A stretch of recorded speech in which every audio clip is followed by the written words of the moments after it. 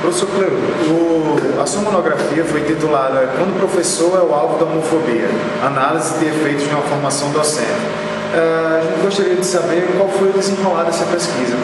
Então, toda a minha formação é na UFPB, né, desde a graduação até o mestrado. Né?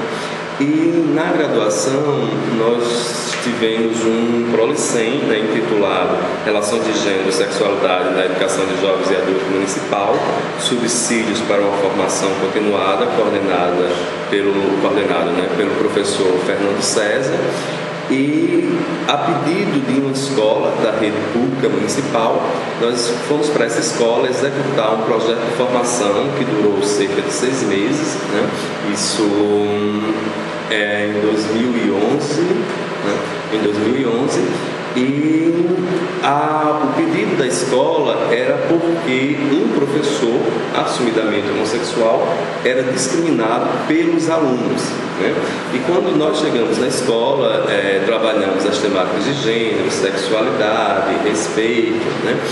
E aí, no decorrer da formação, nós percebemos que o professor não era discriminado apenas pelos alunos, né? mas inclusive pelos seus pares. Né? Os seus colegas, também de profissão, acabavam não aceitando a sexualidade deste professor. Né? E já na recepção, né, a própria gestora da escola o tratava como o mascote da escola né? e que esse professor era discriminado porque ele não tomava jeito de homem. Né?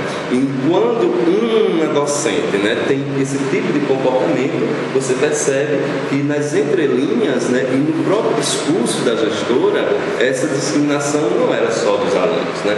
E acabavam é, afirmando também o preconceito, muitas das vezes, dos alunos. Né?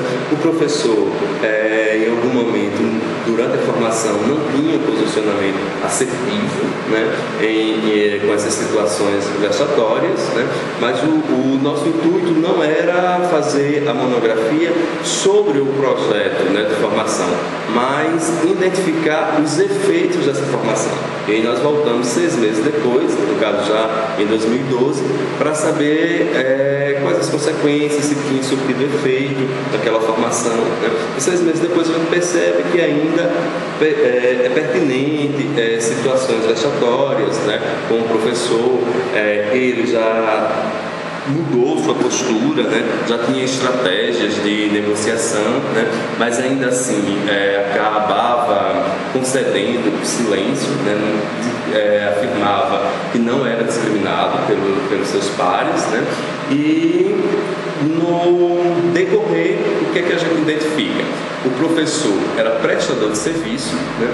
não ia para o enfrentamento com a gestora, né? porque a gestora é que recomendava, inclusive, a sua recondução, a sua recontratação para o ano seguinte. Então a gente percebe que dentro da violação né? e dentro da violência simbólica né? É, relacionada à sua sexualidade, o professor acabava se permitindo ao silêncio em virtude da precarização da sua contratação.